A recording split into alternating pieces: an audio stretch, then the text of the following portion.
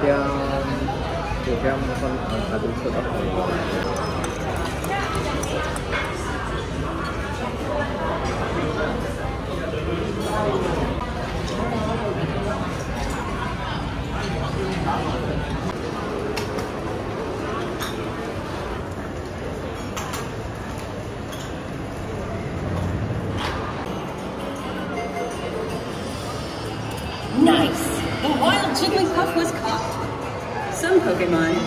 this Jigglypuff, What's this? Quaxly's out there in the world, charging straight toward that Litleo. Looks like Quaxly battled Litleo on its own, and you can see your destination.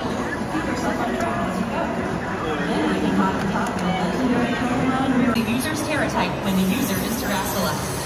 It ought to be handy for a Pokemon with a Tera type.